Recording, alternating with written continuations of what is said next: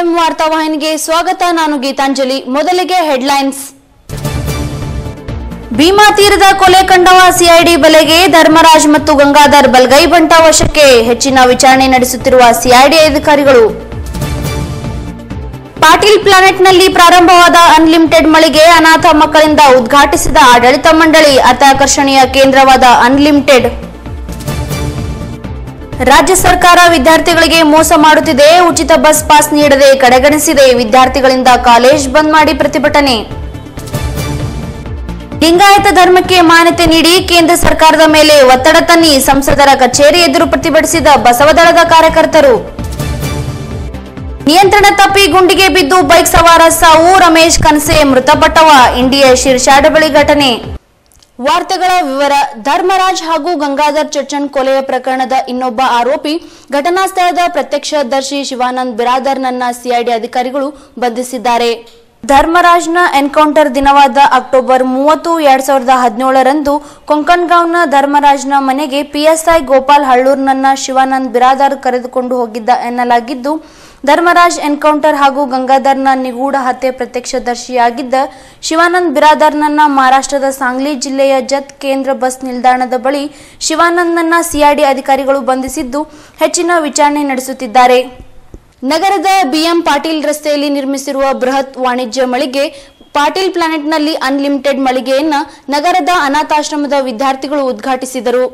ದೇಶಾದ್ಯಂತ ಅತ್ಯಂತ ಆಕರ್ಷಣೀಯ ಉಡುಪಿಗೆ ಹೆಸರುವಾಸಿಯಾದ ಅನ್ಲಿಮಿಟೆಡ್ ಮಳಿಗೆ ವಿಜಯಪುರ ನಗರದ ಬಿಎಂ ಪಾಟೀಲ್ ರಸ್ತೆಯಲ್ಲಿ ನಿರ್ಮಿಸಿರುವ ಬೃಹತ್ ವಾಣಿಜ್ಯ ಮಳಿಗೆ ಪಾಟೀಲ್ ಪ್ಲಾನೆಟ್ನಲ್ಲಿ ಆರಂಭಿಸಲಾಯಿತು. ಅನಾಥ ಮಕ್ಕಳಿಂದ ಉದ್ಘಾಟನೆ ಮಾಡಿಸುವ ಮೂಲಕ ಅತ್ಯಂತ ಸರಳತೆ ತೋರಿದ ಆಡಳಿತ ಮಂಡಳಿಯವರು ಅನಾಥ ಮತ್ತು ಅಂಧ ಮಕ್ಕಳಿಗೆ ಉಚಿತವಾಗಿ ಬಟ್ಟೆ ಸೇರಿದಂತೆ ಇನ್ನಿತರ ವಸ್ತುಗಳನ್ನು ಉಚಿತವಾಗಿ ನೀಡುವ ಮೂಲಕ ಸಹಾಯ ಹಸ್ತ ತೋರಿದರು. ಈ ಸಂದರ್ಭದಲ್ಲಿ ಬಬಲೇಶ್ವರ ಶಾಸಕ, ಮಾಜಿ ಜಲಸಂಪನ್ಮೂಲ ಸಚಿವರಾದ ಎಂಬಿ ಪಾಟೀಲ್ ಸಹೋದರ ಸುನಿಲ್ ಗೌಡ್ ಪಾಟೀಲ್ ಅವರು ಮಾತನಾಡುತ್ತಾ, ನೂತನವಾಗಿ ನಮ್ಮ ಪಾಟೀಲ್ ಪ್ಲಾನೆಟ್ನಲ್ಲಿ ಅನ್ಲಿಮಿಟೆಡ್ನವರು ತಮ್ಮ ಶಾಖೆ ತೆರೆದಿದ್ದು, ನೂತನವಾಗಿ ಜಿಲ್ಲೆಯಲ್ಲಿಯೇ ಮೊದಲ ಬಾರಿಗೆ ಇಷ್ಟು ದೊಡ್ಡ ಶೋರೂಮ್ ಒಂದು ನಮ್ಮಲ್ಲಿ ತೆರೆಯಲಿದ್ದು, ಜನರು ತಮಗಿಷ್ಟವಾದ ಎಲ್ಲ ಬಟ್ಟೆಗಳನ್ನು ಅತ್ಯಂತ ಕಡಿಮೆ ಹಣದಲ್ಲಿ ಖರೀದಿಸಬಹುದಾಗಿದೆ. ಎಲ್ಲರೂ ಒಂದು ಬಾರಿ ಭೇಟಿ ನೀಡಿ ಎಂದು ಅವರು ಹೇಳಿದರು. ಬಿಜಾಪುರ ಸಿಟಿಯಲ್ಲಿ ಈ ನಮ್ಮ ಪಾಟೀಲ್ ಪ್ಲಾನೆಟ್ ಮಾಲ್ ಕಟ್ಟಡ ಪ್ರಾರಂಭ ಮಾಡಿ ಸುಮಾರು ಎರಡು, ಎರಡೂವರೆ ವರ್ಷ ಆಯಿತು.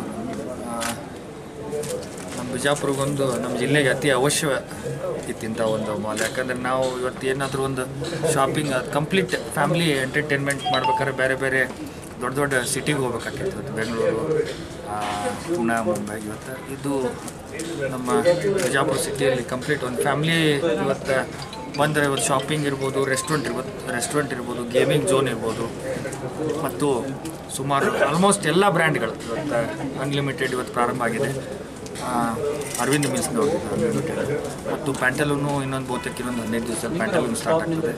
ಮತ್ತು ಇನ್ನಿತರ ರಿಲಯನ್ಸ್ ಸ್ಮಾರ್ಟ್ ರಿಲಯನ್ಸ್ ಸ್ಮಾರ್ಟ್ ಅಂದರೆ ನಮ್ಮ ಬಿಗ್ ಬಜಾರ್ ಮತ್ತು ಡಿ ಮಾರ್ಟ್ ಅದರ ಕಾಂಪಿಟೇಷನ್ ಮತ್ತು ಇನ್ನು ಎಲ್ಲ ರಿಲಯನ್ಸ್ ಫಾರ್ಟಿ ಮೂರು ಮೂವತ್ತೈದರಿಂದ ನಲ್ವತ್ತು ಬ್ರ್ಯಾಂಡ್ಗಳು, ಎಲ್ಲ ಬ್ರ್ಯಾಂಡ್. ಇವತ್ತೇನು ನೀವು ಬೆಂಗಳೂರಲ್ಲಿ ಹೋದರೆ ದೊಡ್ಡ ದೊಡ್ಡ ಮಂತ್ರಿ ಮಾಲ್ ಓರಿಯನ್ ಮಾಲ್, ಎಷ್ಟು ಬ್ರ್ಯಾಂಡ್ ಇದೆ. ಆ ಥರ ಪ್ರತಿಯೊಂದು ಎಲ್ಲ ಬ್ರ್ಯಾಂಡ್ ಕೂಡ ಇಲ್ಲಿ ನಮ್ಮ ಪಾಟೀಲ್ ಪ್ಲಾನೆಟ್ನಲ್ಲಿ ಬಹುತೇಕ ಆಗಸ್ಟ್ ಹದಿನೈದರವರೆಗೆ ಕೆಲವೊಂದು ಪ್ರಾರಂಭ ಆಗ್ತದೆ. ಹಾಗೆ ಕೆಲಸ ಕೂಡ ಈಗಾಗಲೇ ಪ್ರಾರಂಭ ಆಗಿರ್ತದೆ, ಇಂಟೀರಿಯರ್ ಮಾಡ್ತಾ ಇದ್ದಾರೆ. ಅದರ ಜೊತೆಗೆ ಗೇಮಿಂಗ್ ಝೋನ್. ಗೇಮಿಂಗ್ ಝೋನ್ ಅಂದರೆ ಮಕ್ಕಳಿಗೆ ಆಟ ಆಡಲಿಕ್ಕೆ ಇವತ್ತು ಬೌಲಿಂಗ್ ಎಲ್ಲಿ ಇರ್ಬೋದು ಬಿಲಿಯರ್ಡ್ಸ್ ಇರ್ಬೋದು, ಇನ್ನಿತರ ಎಲ್ಲ ಥರ ಆಟಗಳು ಇವತ್ತು ಗೇಮಿಂಗ್ ಝೋನಲ್ಲಿ ಪ್ರಾರಂಭ ಮಾಡ್ತೀವಿ. ರೆಸ್ಟ್ ರೆಸ್ಟೋರೆಂಟಲ್ಲಿ ಮೈಸೂರು ರೆಸ್ಟೋರೆಂಟ್ ಇದೆ ವಿಲೇಜ್ ಅಂತ ಒಂದು ರಾಜಸ್ಥಾನ್ ಎಲ್ಲ south Indian vegetarian non vegetarian ಎಲ್ಲ ರೀತಿ ಒಂದು ರೆಸ್ಟೋರೆಂಟ್ಸ್ ಕೂಡ ಬರ್ತಾ ಇದೆ. ಮಲ್ಟಿಪ್ಲೆಕ್ಸ್ ಸೆಕೆಂಡ್ ಸೆಕೆಂಡ್ ಫೇಸ್ ಆಗಿದೆ. ಮಗಲಿಗೆ ಸೈನ್ ಈಗಾಗಲೇ ಐನಾಕ್ಸ್ ಜೊತೆಗೆ ಸೈನ್ ಆಗಿದೆ ನಮ್ಮದು ನೆಕ್ಸ್ಟ್ ಸೆಕೆಂಡ್ ಫೇಸ್ನಾಗ ಮಗಲಿಗೆ ಜಾಗ ನಾಲ್ಕು ಫೋರ್ ಫೋರ್ ಸ್ಕ್ರೀನ್ ಇದೇ ಸಂದರ್ಭದಲ್ಲಿ ಅನಾಥ ಮಗು ದರ್ಶನ್ ಮಾತನಾಡುತ್ತಾ ನನಗೆ ಇಲ್ಲಿಗೆ ಬಂದಿರುವುದು ಖುಷಿ ತಂದಿದ್ದು ನಾವು ನಮಗೆ ಬೇಕಾದ ಬಟ್ಟೆಯನ್ನು ಉಚಿತವಾಗಿ ಪಡೆಯುತ್ತಿದ್ದು ಒಟ್ಟು ಏಳು ಜನ ನಾವು ಇಲ್ಲಿಗೆ ಬಂದಿದ್ದೇವೆ ಎಂದು ಹೇಳಿದರು. ದರ್ಶನ್ ದರ್ಶನ್ ಪರಶುರಾಮ್ ಜಗದಾಳ್ ಇಲ್ಲಿ ಬಂದು ನಮಗೆ ತುಂಬ ಖುಷಿಯಾಗಿದೆ. ಇಲ್ಲಿ ನಾವು ಅನಾಥಾಶ್ರಮದವರು ಇಲ್ಲಿ ಬಂದು ಬಟ್ಟೆ ಹಾಕಿಕೊಂಡು ನಾವು ಇಲ್ಲಿ ಕೇಕ್ ತಿಂದಿದ್ದೆ ಇಷ್ಟು ಹೇಳಿ ನಾವು ತುಂಬ ಖುಷಿಯಾಗಿದೆ ಎಷ್ಟು ಜನ ಬಂದರು? ಏಳು ಜನ ಬಂದಿದ್ವಿ. ಯಾವ ಅನಾಥಾಶ್ರಮ ಬರ್ತದೆ ಇದು ಬಾಲಕ ಅನಾಥಾಶ್ರಮ ಆಶ್ರಮ ಅಲ್ಲಿದಂತ ಬಂದೆವು ಅನ್ಲಿಮಿಟೆಡ್ನ ಕರ್ನಾಟಕ ರೀಜನಲ್ ಪ್ರಾಣೇಶ್ ಅವರು ಮಾತನಾಡುತ್ತಾ, ನಮ್ಮಲ್ಲಿ ಮಹಿಳೆಯರು, ಪುರುಷರು, ಮಕ್ಕಳು, ವಿದ್ಯಾರ್ಥಿಗಳು ಸೇರಿದಂತೆ ಎಲ್ಲ ವಯಸ್ಸಿನ ಎಲ್ಲರಿಗೂ ಬೇಕಾದ ಅತ್ಯಂತ ಉತ್ತಮವಾದ ಬಟ್ಟೆಗಳನ್ನು ನಾವು ಇಲ್ಲಿ ತಂದಿದ್ದು, ವಿಜಯಪುರ ಜಿಲ್ಲೆಯ ಜನತೆಗೆ ಇದೊಂದು ವರವಾಗಿದೆ. ನಗರದಲ್ಲಿ ಅತ್ಯಂತ ದೊಡ್ಡವಾದ ಮಳಿಗೆ ಇದಾಗಿದ್ದು, ನಾವು ಅನಾಥ ಮಕ್ಕಳಿಂದ ಈ ಮಳಿಗೆಯನ್ನು ಉದ್ಘಾಟಿಸುವುದರ ಮೂಲಕ ಆರಂಭಿಸಿದ್ದೇವೆ ಎಂದರು. ಅನ್ಲಿಮಿಟೆಡ್ ಶೋರೂಮ್ ಇವತ್ತು ಓಪನ್ ಆಗಿದೆ ವಿಜಯಪುರದಲ್ಲಿ. ಓಕೆ ಇದು ಬಂದ್ಬಿಟ್ಟು ಅರವಿಂದ್ ಮಿಲ್ಸಿನ ಒಂದು ವಿಭಾಗ. ಓಕೆ ನಾವು ಯೂಶಲಾಗಿ ಇನ್ಫ್ಯಾಕ್ಟ್ ಅನಾಥ ಮಕ್ಕಳನ್ನು ಕರೆಸ್ಬಿಟ್ಟು ಓಕೆ ಇನ್ಫ್ಯಾಕ್ಟ್ ಇನಾಗ್ರೇಷನ್ ಮಾಡ್ತೀವಿ ಇದು ಕಂಪ್ನಿದು ಪಾಲಿಸಿ ಓಕೆ ನಮ್ಮಲ್ಲಿ okay men's wear women's wear okay ಮಕ್ಕಳ ಉಡುಪುಗಳು ಎಲ್ಲ ಇದೆ. ಇದು ಹತ್ತು ಸಾವಿರ square feet showroom okay formal ವೇರಿಂದ ethnic ವೇರಿಂದ ಎಲ್ಲ ಥರದ ಉಡುಪುಗಳು ದೊರಕುತ್ತದೆ ಓಕೆ, ಇದು ವ್ಯಾಲ್ಯೂ ಫಾರ್ ಮನಿ ಅಂದರೆ ನಾವು ಬಂದ್ಬಿಟ್ಟು ಎಲ್ಲ ಥರದ ಜನಗಳಿಗೆ, ಅಂದರೆ ಮಿಡಲ್ ಏಜ್ ಇನ್ಫ್ಯಾಕ್ಟ್ ಇದರಿಂದ ಚಿಕ್ಕ ಮಕ್ಕಳಿಂದ ಹಿಡಿದು ಎಲ್ಲರಿಗೂ, ಓಕೆ ಬಟ್ಟೆ ಅವೈಲೇಬಲ್ ಇದೆ ಇಲ್ಲಿ. ಇದೇ ಸಂದರ್ಭದಲ್ಲಿ ಜಿಲ್ಲಾ ಪೊಲೀಸ್ ವರಿಷ್ಠಾಧಿಕಾರಿ ಪ್ರಕಾಶ್ ನಿಕ್ಕಂ, ನಗರ ಪಾಲಿಕೆ ಆಯುಕ್ತ ಹರ್ಷ ಶೆಟ್ಟಿ, ರಾಘವೇಂದ್ರ ಶೆಟ್ಟಿ, ಡಾಕ್ಟರ್ ಮಾಂತೇಶ್ ಬಿರಾದಾರ್ ಸೇರಿದಂತೆ ಇನ್ನಿತರು ಭಾಗವಹಿಸಿದ್ದರು. ರಾಜ್ಯದ ಮುಖ್ಯಮಂತ್ರಿ ಕುಮಾರಸ್ವಾಮಿ ಸರ್ಕಾರ ವಿದ್ಯಾರ್ಥಿಗಳಿಗೆ ಮೋಸ ಮಾಡಿದೆ. ಹಿಂದಿನ ಸರ್ಕಾರ ನೀಡಿದ ಉಚಿತ ಬಸ್ ಪಾಸ್ ಅನ್ನ ಬಂದ್ ಮಾಡಿ ವಿದ್ಯಾರ್ಥಿಗಳ ಜೀವನದ ಜೊತೆ ಚಲ್ಲಾಟವಾಡುತ್ತಿದೆ ಎಂದು ಆರೋಪಿಸಿದರು. ನಗರದ ಗಾಂಧಿ ವೃತ್ತದಲ್ಲಿ ಎಐಡಿಎಸ್ಒ ಸಹಯೋಗದೊಂದಿಗೆ ಜಿಲ್ಲೆಯ ಎಲ್ಲಾ ಶಾಲಾ ಕಾಲೇಜು ವಿದ್ಯಾರ್ಥಿಗಳು ಕಾಲೇಜು ಬಂದ್ ಮಾಡಿ ಪ್ರತಿಭಟನೆ ನಡೆಸಿದರು. ಹಿಂದಿನ ಸಿದ್ದರಾಮಯ್ಯನವರ ಸರ್ಕಾರ ನೀಡಿದ ಎಲ್ಲ ಯೋಜನೆಗಳನ್ನು ಜಾರಿಗೆ ತರುತ್ತೇವೆ ಎಂದಿದ್ದರು. ಆದರೆ ಮುಖ್ಯಮಂತ್ರಿಯಾಗಿರುವ ಕುಮಾರಸ್ವಾಮಿ ಮಾತ್ರ ವಿದ್ಯಾರ್ಥಿಗಳ ಜೀವನದ ಜೊತೆ ಚೆಲ್ಲಾಟವಾಡುತ್ತಾ ನಮ್ಮ ಜೀವನವನ್ನ ಹಾಳು ಮಾಡುತ್ತಿದ್ದು, ನಾವು ಬೀದಿಗೆ ಬಂದು ಪ್ರತಿಭಟನೆ ಮಾಡಿದರೂ ಸಹ ನಮಗೆ ಉಚಿತ ಬಸ್ ಪಾಸ್ ನೀಡುತ್ತಿಲ್ಲ ಎಂದು ಪ್ರತಿಭಟನಾ ನಿರತರು ಆರೋಪಿಸಿದರು. ನಾವು ವಿದ್ಯಾರ್ಥಿ ಸಂಘಟನೆ, all India democratic student organisation, all India democratic youth organisation all India ಮಹಿಳಾ ಸಾಂಸ್ಕೃತಿಕ ಸಂಘಟನೆ, ಮೂರು ಸಂಘಟನೆಗಳಿಂದ ಇವತ್ತು ಅಖಿಲ ಭಾರತ ಮಟ್ಟದಲ್ಲಿ ಸ್ವಯಂ ಪ್ರೇರಿತವಾಗಿ ಎಲ್ಲ ಸ್ಕೂಲು, ಕಾಲೇಜ್ಗಳನ್ನ ಬಂದ್ ಮಾಡ್ತಾ ಇದ್ದೀವಿ. ಉದ್ದೇಶ ಅಂದರೆ ಗೌರ್ಮೆಂಟ್ ಇವತ್ತು ಉಚಿತ ಬಸ್ ಪಾಸನ್ನು ಕೊಡ್ತೀವಿ ಅಂತ ಹೇಳಿ ಮಾತು ಕೊಟ್ಟಿದ್ರು. ಆ ಮಾತಿಗೆ ತಪ್ಪಿದಾರ. ಹಲವಾರು ಬಾರಿ ಶಿಕ್ಷೆ, ಸಾರಿಗೆ ಸಚಿವರನ್ನ ಮೀಟ್ ಮಾಡಿದ್ದಾಗಿತ್ತು. ಕುಮಾರಸ್ವಾಮಿ ಅವ್ರನ್ನ ಮೀಟ್ ಮಾಡಿದ್ದೇವೆ. ಅದೇ ರೀತಿಯಾಗಿ ಸಿದ್ದರಾಮಯ್ಯನವ್ರನ್ನೂ ಕೂಡ ಮೀಟ್ ಮಾಡಿದ್ದೀವಿ. ಅವ್ರು ಏನು ಹೇಳಿದ್ರು? ಕೊಡ್ತೀವಿ. ಲಾಸ್ಟ್ ಬಜೆಟ್ ಮಂಡನೆಯಲ್ಲಿ ಟೈಮಿಗೆ ನಾವು ಅನೌನ್ಸ್ ಮಾಡ್ತೀವಿ ಅಂತ ಹೇಳಿದ್ರು. ನಾವು ಇದಕ್ಕಿಂತ ಹಿಂದಿನ ತಿಂಗಳಲ್ಲಿ ಹತ್ತೊಂಬತ್ತನೇ ತಾರೀಕಿಗೆ ಅಖಿಲ ಭಾರತ ಮಟ್ಟದಲ್ಲಿ ಬಂದ್ ಘೋಷಣೆ ಮಾಡಿದ್ದೀವಿ. ಆ ಸಂದರ್ಭದಲ್ಲಿ ಅವ್ರು ಏನು ಹೇಳಿದ್ರು ಅಂದರೆ, ನೀವು ಹಿಂದೆ ತೆಗೆದುಕೊಳ್ರಿ, ನಾವು ಬಸ್ ಪಾಸನ್ನು ಅನೌನ್ಸ್ ಮಾಡ್ತೀವಿ ಅಂತ ಹೇಳಿ ನಮ್ಮನ್ನು ನಂಬಿಸಿ ಮೋಸ ಮಾಡಿದ್ದಾರೆ. ಹಾಗಾಗಿ ನಾವು ಇವತ್ತಿನ ದಿನ ಎಲ್ಲ ಸ್ಕೂಲು ಕಾಲೇಜ್ಗಳನ್ನ ಬಂದ್ ಮಾಡಿ ಇವತ್ತು ಉಗ್ರವಾದ ಹೋರಾಟಗಳನ್ನ ಬೆಳೆಸ್ತಾ ಇದ್ದೀವಿ ಇದು ಸ್ವಯಂ ಪ್ರೇರಿತವಾಗಿ ಎಲ್ಲ ಸ್ಕೂಲು ಕಾಲೇಜ್ಗಳನ್ನ ಇವತ್ತು ಸ್ವಯಂ ಪ್ರೇರಿತವಾಗಿ ಎಲ್ಲ ಸ್ಕೂಲ್ಗಳನ್ನ ಬಂದ್ ಮಾಡಿದ್ದಾರೆ. ಇದು ಒಂದು ವಿಜಯಪುರದಲ್ಲಿ ನಡೆದದ. ಬಿಟ್ಟರೆ ಎಲ್ಲ ಅಖಿಲ ಭಾರತ ಮಟ್ಟದ ಎಲ್ಲ ತಾಲೂಕು ಕಾಲೇಜ್ಗಳನ್ನೆಲ್ಲ ಬಂದ್ ಮಾಡಿದ್ದೀವಿ. ಗಾಂಧಿ ಚೌಕದಿಂದ ಡಿ ಸಿ ಆಫೀಸ್ವರೆಗೂ ಮೆರವಣಿಗೆ ಹೊರಟಿದ್ದೀವಿ. ಎಲ್ಲ ಸ್ಕೂಲು ಕಾಲೇಜ್ ವಿದ್ಯಾರ್ಥಿನಿಯರನ್ನ ಕರ್ಕೊಂಡು ಮೆರವಣಿಗೆ ಹೊರಟಿದ್ದೀವಿ ಸಂಯುಕ್ತ ಆಶ್ರಯದಲ್ಲಿ ಇಡೀ ಕರ್ನಾಟಕ ರಾಜ್ಯದ ಎಲ್ಲ ಶಾಲಾ ಕಾಲೇಜುಗಳಿಗೆ ಸ್ವಯಂ ಘೋಷಿತ ಬಂದ್ ಕರೆ ನೀಡಲಾಗಿದೆ. ಈ ಒಂದು ಬಂದ್ ಕರೆ ಬಹಳ ಪ್ರಮುಖ ಗುರಿ, ಉದ್ದೇಶ ಎರಡು ಬೇಡಿಕೆಗಳು. ಒಂದು, ರಾಜ್ಯದ ಎಲ್ಲ ವಿದ್ಯಾರ್ಥಿಗಳಿಗೆ ಉಚಿತ ಬಸ್ ಪಾಸ್ ನೀಡಬೇಕು. ಹಾಗೆಯೇ ಈಗಾಗಲೇ ಬಸ್ ಪಾಸ್ ತೆಗೆದುಕೊಂಡಂತ ವಿದ್ಯಾರ್ಥಿಗಳ ಹಣವನ್ನು ಹಿಂದಿರುಗಿಸಬೇಕು ಅಂತೇಳಿ ಎರಡು ಬೇಡಿಕೆ ಇಟ್ಕೊಂಡು ಇಡೀ ರಾಜ್ಯಾದ್ಯಂತ ಶಾಲಾ ಕಾಲೇಜ್ ಬಂದ್ ಕರೆ ಕೊಟ್ಟಿದ್ದೇವೆ. ಸ್ನೇಹಿತರೆ, ಸರ್ಕಾರ ಇಡೀ ಕರ್ನಾಟಕದಲ್ಲಿ ಕಲಿತಕ್ಕಂಥ ಎಲ್ಲಾ ವಿದ್ಯಾರ್ಥಿಗಳಿಗೆ ಉಚಿತ ಬಸ್ ಪಾಸ್ ಕೊಡಲು ಕೇವಲ ಎಂಟುನೂರು ಕೋಟಿ ಹಣ ಮಾತ್ರ ಬೇಕು.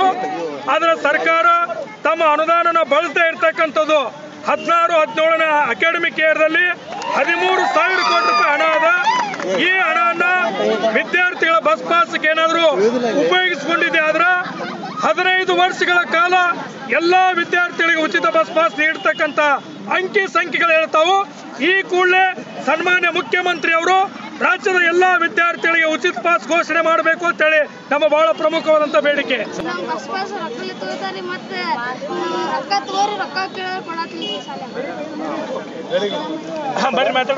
ಬಸ್ ಪಾಸ್ ಉಚಿತ ಮಾಡ್ತೀನಿ ಅಂತ ಮಾತು ಕೊಟ್ಟಿದ್ರು.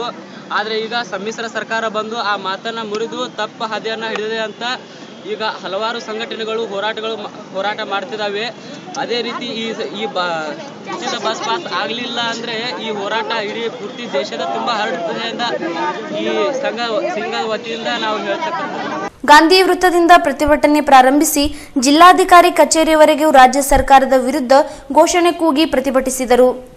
ಲಿಂಗಾಯತ ಸ್ವತಂತ್ರ ಧರ್ಮವಾಗಬೇಕು. ಅದಕ್ಕಾಗಿ ಕೇಂದ್ರ ಸರ್ಕಾರ ಎಲ್ಲ ಸಂಸದರು ಒತ್ತಾಯ ಮಾಡಬೇಕೆಂದು ರಾಷ್ಟ್ರೀಯ ಬಸವ ದಳದ ಕಾರ್ಯಕರ್ತರು ಪ್ರತಿಭಟನೆ ನಡೆಸಿದರು.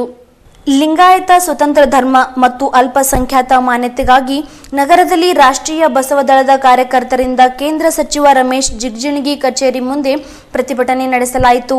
ಸ್ವತಂತ್ರ ಧರ್ಮ ಮತ್ತು ಅಲ್ಪಸಂಖ್ಯಾತ ಮಾನ್ಯತೆ ನೀಡುವಂತೆ ಆಗ್ರಹಿಸಿ ಪ್ರತಿಭಟನೆ ನಡೆಸಿ ಹಿಂದಿನ ಸರ್ಕಾರ ಲಿಂಗಾಯತ ಸ್ವತಂತ್ರ ಧರ್ಮಕ್ಕೆ ಮಾನ್ಯತೆ ನೀಡಿ ಕೇಂದ್ರಕ್ಕೆ ಶಿಫಾರಸು ಮಾಡಿದರೂ ಕ್ರಮ ಕೈಗೊಳ್ಳದ ಹಿನ್ನೆಲೆ ಕೂಡಲೇ ಲಿಂಗಾಯತ ಧರ್ಮಕ್ಕೆ ಮಾನ್ಯತೆ ನೀಡುವಂತೆ ಕೇಂದ್ರಕ್ಕೆ ಒತ್ತಾಯಿಸಿದ ರಾಷ್ಟ್ರೀಯ ಬಸವದಳ ಕಾರ್ಯಕರ್ತರು ಪ್ರತಿಭಟಿಸಿದರು. ಲಿಂಗಾಯತ ಧರ್ಮಕ್ಕೆ ಸ್ವತಂತ್ರ ಧರ್ಮದ ಮಾನ್ಯತೆ ಹಿನ್ನೆಲೆಯಲ್ಲಿ ಕಳೆದ ಹಲವಾರು ವರ್ಷಗಳಿಂದ ಒಂದು ಹೋರಾಟ ನಡೀತಾ ಬಂದಿದೆ. ನಮ್ಮ ಹೋರಾಟಕ್ಕೆ ಸ್ಪಂದಿಸಿ ಕಳೆದ ಮಾರ್ಚ್ ತಿಂಗಳಲ್ಲಿ ಕರ್ನಾಟಕದ ರಾಜ್ಯ ಸರ್ಕಾರ ಈ ನಮ್ಮ ಬೇಡಿಕೆಯನ್ನು ಸ್ಪಂದಿಸಿ ಪ್ರಸ್ತಾವನೆಯನ್ನು ಕೇಂದ್ರ ಸರ್ಕಾರಕ್ಕೆ ಕಳಿಸಿದೆ. ಈಗಾಗಲೇ ಕೇಂದ್ರ ಸರ್ಕಾರಕ್ಕೆ ಕಳಿಸಿ ಕಳೆದ ನಾಲ್ಕು ತಿಂಗಳಲ್ಲಿ ಕೇಂದ್ರ ಸರ್ಕಾರ ಯಾವುದೇ ನಿರ್ಧಾರವನ್ನು ತೆಗೆದುಕೊಳ್ಳದೆ ಈ ಲಿಂಗಾಯತ ಸ್ವತಂತ್ರ ಧರ್ಮದ ಬೇಡಿಕೆಗೆ ಒಂದು ವಿಳಂಬ ಮಾಡ್ತಾ ಇರೋದರಿಂದ ಅದಕ್ಕೆ ಒತ್ತಾಯಿಸಿ ಇವತ್ತು ನಾವು ಸಂಸದರು, ನಮ್ಮ ಕೇಂದ್ರದ ಸಚಿವರಾದಂಥ ಮಾನ್ಯ ರಮೇಶ್ ಜಿಗಜಿಣಿಯವರ ಕಚೇರಿ ಮುಂದಗಡೆ ಇವತ್ತು ನಾವು ಧರಣಿಯನ್ನು ಮಾಡ್ತಾಯಿದ್ದೀವಿ ನಮ್ಮ ಒತ್ತಾಯ ಯಾವ ರೀತಿಯಾಗಿ ಇವತ್ತು ಭಾರತೀಯ ಧರ್ಮಗಳಾದಂಥ ಜೈನ, ಬೌದ್ಧ, ಸಿಖ್ ಧರ್ಮಗಳಿಗೆ ಒಂದು ಮಾನ್ಯತೆಯನ್ನು ಈ ನಮ್ಮ ಕೇಂದ್ರ ಸರ್ಕಾರ ನೀಡಿದೆ. ಆ ಎಲ್ಲ ಲಕ್ಷಣಗಳನ್ನು ಹೊಂದಿರುವಂಥ, ಆ ಎಲ್ಲ ಅರ್ಹತೆಯನ್ನು ಹೊಂದಿರುವಂಥ ಲಿಂಗಾಯತ ಧರ್ಮಕ್ಕೂ ಮಾನ್ಯತೆಯನ್ನು ಕೊಡಬೇಕು ಎಂಬ ಒಂದು ಉದ್ದೇಶವನ್ನು ಬೇಡಿಕೆಯನ್ನು ಇಟ್ಟುಕೊಂಡು ಇವತ್ತು ಹೋರಾಟ ನಡೀತಾ ಇದೆ. ಇವತ್ತು ಅಧಿವೇಶನ, ಲೋಕಸಭಾ ಅಧಿವೇಶನ ಆರಂಭವಾಗಿದೆ. ಆ ಅಧಿವೇಶನದಲ್ಲಿ ನಮ್ಮ ಸಂಸದರು, ಸಚಿವರಾದಂಥ ಜಿಗಜಿಣಿಯವರು ಈ ಒಂದು ವಿಷಯವನ್ನು ಪ್ರಸ್ತಾವನೆ ಮಾಡಬೇಕು, ಮಂಡಿಸಬೇಕು. ಒಕ್ಕೋರ್ಲಿಂದ ನಮ್ಮ ರಾಜ್ಯದ ಎಲ್ಲ ಸಂಸದರ ಮನೆ ಮುಂದೆ ಇವತ್ತು ನಡೀತಾ ಇದೆ. ಈ ಒಂದು ಹೋರಾಟ, ಈ ಒಕ್ಕೋರ್ಲಿಂದ ಈ ಒಂದು ಲಿಂಗಾಯತ ಧರ್ಮಕ್ಕೆ ಮಾನ್ಯತೆಯನ್ನು ಕೊಡುವಲ್ಲಿ ಒಂದು ತಮ್ಮ ಸೇವೆಯನ್ನು ಸಲ್ಲಿಸಬೇಕು. ಯಾಕಂದರೆ ಗುರು ಬಸವಣ್ಣನವರು ಕೊಟ್ಟಂಥ ಎಲ್ಲ ಕುಲಕಸುಬುಗಳಿಂದ, ಎಲ್ಲ ಜಾತಿ ವರ್ಗಗಳಿಂದ, ತೊಂಬತ್ತೊಂಬತ್ತು ಉಪಪಂಗಡಗಳಿಂದ ರೂಪುಗೊಂಡಂಥ ಈ ಲಿಂಗಾಯತ ಧರ್ಮದ ಒಂದು ಭಾಗವಾಗಿರುವಂಥ ಜಿಗಜಿನ್ನಿಯವರು ಈ ಧರ್ಮದ ಭಾಗವಾಗಿರುವಂಥ ಮಾನ್ಯ ಜಿಗಜಿನ್ನಿಯವರು ಈ ಒಂದು ಲಿಂಗಾಯತ ಧರ್ಮಕ್ಕೆ ಮಾನ್ಯತೆಯನ್ನು ಕೊಡುವಲ್ಲಿ ಹೆಚ್ಚಿನ ಒಂದು ಪ್ರಯತ್ನವನ್ನು ಮಾಡಬೇಕು. ಯಾಕೆಂದರೆ ಅವರು ಈ ಬಸವ ಜನ್ಮಭೂಮಿ ವಿಜಯಪುರದ ಜನಪ್ರತಿನಿಧಿಗಳು ಲೋಕಸಭಾ ಸದಸ್ಯರಾಗಿರೋದ್ರಿಂದ ಅವರ ಒಂದು ಜವಾಬ್ದಾರಿ ಹೆಚ್ಚಿಗಾಗಿದೆ, ಹೆಚ್ಚಿಗಿದೆ. ಅದಕ್ಕಾಗಿ ಹೋರಾಟಕ್ಕಾಗಿ ಸ್ಪಂದಿಸಿ. ನಾಳೆ ನಾಡಿದ್ದು ನಡೀತಾ ನಡೀತಾ ಇರುವಂಥ ಸೋಮವಾರ ಲೋಕಸಭೆಯಲ್ಲಿ ಈ ವಿಷಯವನ್ನು ಪ್ರಸ್ತಾವಿಸಬೇಕಂತ ನಾವು ಈ ಮೂಲಕ ಒತ್ತಾಯವನ್ನು ಮಾಡ್ತಾ ಇದ್ದೀವಿ. ಲಿಂಗಾಯತ ಧರ್ಮ ಸ್ವತಂತ್ರ ಧರ್ಮ. ಲಿಂಗಾಯತ ಧರ್ಮ ಧಾರ್ಮಿಕವಾಗಿ ಅಲ್ಪಸಂಖ್ಯಾತ ಧರ್ಮವಾಗಿದೆ. ಇದಕ್ಕಾಗಿ ನಾವು ಇಂದು ರಮೇಶ್, ಸನ್ಮಾನ್ಯ ರಮೇಶ್ ಜಿಗಜಿಯವಣಿಗೆ ಕೇಂದ್ರ ಸಚಿವರ ಕಾರ್ಯಾಲಯದ ಮುಂದೆ ನಾವು ಧರಣಿಯನ್ನು ಮಾಡ್ತಾ ಇದ್ದೇವೆ. ಈ ಲಿಂಗಾಯತ ಧರ್ಮ ಹನ್ನೊಂದು ನೂರ ವಿಶ್ವಗುರು ಬಸವಣ್ಣನವರಿಂದ ಸ್ಥಾಪಿತವಾಗಿದೆ. ಈ ಧರ್ಮದ ಸಂವಿಧಾನ ಸಮಾನತೆ ಸಾರುವ ವಚನ ಸಾಹಿತ್ಯವಾಗಿದೆ. ಲಿಂಗಾಯತರ ಪೂಜ್ಯ ವಸ್ತು ಸೃಷ್ಟಿಕರ್ತ ಪರಮಾತ್ಮನ ಪುರುಹಾದ ಇಷ್ಟಲಿಂಗವಾಗಿದೆ. ಇದು ಒಂದು ಹಿಂದೂ ಸಂಸ್ಕೃತಿಯಲ್ಲಿರುವಂಥ ಒಂದು ಧರ್ಮ. ಆದ್ದರಿಂದ ಇದು ಇದಕ್ಕೆ ಉಳಿದ ಧರ್ಮಕ್ಕೆ ಹೆಂಗೆ ಮಾನ್ಯತೆ ಕೊಟ್ಟಿದ್ದಾರೆ? ನಮ್ಮ ಧರ್ಮಕ್ಕೂ ಮಾನ್ಯತೆಯನ್ನು ಕೊಡಬೇಕು. ನಾವು ಮೂವತ್ತೆರಡು ವರ್ಷದಿಂದ ಬಸವ ಧರ್ಮ ಪೀಠ ಕೂಡಲ ಸಂಗಮದ ವತಿಯಿಂದ ನಾವು ಇದು ಒಂದು ಸ್ವತಂತ್ರ ಧರ್ಮ, ಅಲ್ಪಸಂಖ್ಯಾತ ಧರ್ಮ ಅಂತ ಹೇಳಿ ನಾವು ಹೋರಾಟ ಮಾಡ್ತಾ ಇದ್ದೇವೆ. ಮಾತೆ, ಜ, ಮಹಾಜಗದ್ಗುರು ಡಾಕ್ಟರ್ ಮಾತೆ ಮಹಾದೇವರ ನೇತೃತ್ವದಲ್ಲಿ ಈ ಹೋರಾಟ ನಡೀತಾ ಇದೆ. ಈಗ ಎಲ್ಲ ಮಠಾಧೀಶರು ಮತ್ತು ಎಲ್ಲ ಕರ್ನಾಟಕದ ರಾಜ್ಯದ ತುಂಬ ಎಲ್ಲ ಕಡೆ ಈ ಹೋರಾಟ ಒಂದು ವರ್ಷದಿಂದ ಭಾಳ ಒತ್ ಜೋರಿನಿಂದ ಈ ಹೋರಾಟ ನಡೀತಾ ಇದೆ. ಮಹಾರಾಷ್ಟ್ರದಲ್ಲಿಯೂ ಸಹಿತ ಈ ಹೋರಾಟ ನಡೆದಿದೆ. ಅಲ್ಲಿ ಒಂದು ಒಂಬತ್ತು ರ್ಯಾಲಿಗಳಾಗಿದ್ದಾವೆ. ಇನ್ನು ಮುಂದೆ ಮುಂಬೈಯಲ್ಲಿ ಒಂದು ಒಂದು ಮಹಾ ರ್ಯಾಲಿ ನಡೀತಾ ಇದೆ. ಇಲ್ಲಿ ಹತ್ತು ರ್ಯಾಲಿಗಳು ಆದವು. ಆದ್ದರಿಂದ ಈಗ ಕೇಂದ್ರ ಸರ್ಕಾರ ಇದನ್ನೆಲ್ಲ ಪರಿಶೀಲಿಸಿ ಈ ಕರ್ನಾಟಕ ಸರ್ಕಾರ ಏನಾದ ಶಿಫಾರಸು ಮಾಡಿ ಕಳಿಸಿದೆ ಈಗಾಗಲೇ. ಇದು ಲಿಂಗಾಯತ ಧರ್ಮ, ಅಲ್ಪಸಂಖ್ಯಾತ ಧಾರ್ಮಿಕ ಧರ್ಮವಾಗಿದೆ ಅಂತ ಹೇಳಿ ಸ್ಥಾನಮಾನ ಕೊಟ್ಟಿದೆ, ಅಧಿಸೂಚನೆ ಹೊರಡಿಸಿದೆ. ಆ ಶಿಫಾರಸನ್ನು ಅವರು ಕೂಲಂಕಷವಾಗಿ ಪರಿ, ಪರಿಶೀಲಿಸಿ ಇದು ಒಂದು ಸ್ವತಂತ್ರ ಧರ್ಮ ಮತ್ತು ಅಲ್ಪಸಂಖ್ಯಾತ ಧರ್ಮ ಅಂತ ಮಾನ್ಯತೆ ಕೊಡಬೇಕಂತ ನಮ್ಮ ಒತ್ತಾಯವಾಗಿದೆ. ಬಸವನ ಬಾಗೇವಾಡಿ ಪಟ್ಟಣದ ನಲವತ್ತೊಂದು ವಯಸ್ಸಿನ ರಮೇಶ್ ಕನಸೆ ಎಂಬುವರು ನಿಯಂತ್ರಣ ತಪ್ಪಿ ಗುಂಡಿಗೆ ಬೈಕ್ ಬಿದ್ದು ಮೃತಪಟ್ಟ ಘಟನೆ ನಡೆದಿದೆ.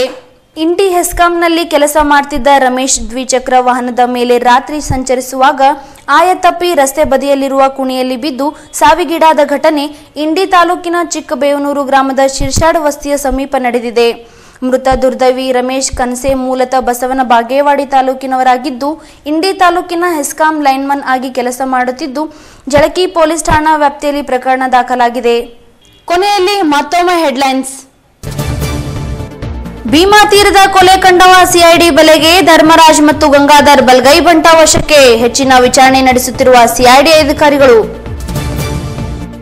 ಪಾಟೀಲ್ ಪ್ಲಾನೆಟ್ನಲ್ಲಿ ಪ್ರಾರಂಭವಾದ ಅನ್ಲಿಮಿಟೆಡ್ ಮಳಿಗೆ ಅನಾಥ ಮಕ್ಕಳಿಂದ ಉದ್ಘಾಟಿಸಿದ ಆಡಳಿತ ಮಂಡಳಿ ಅತ್ಯಾಕರ್ಷಣೀಯ ಕೇಂದ್ರವಾದ ಅನ್ಲಿಮಿಟೆಡ್.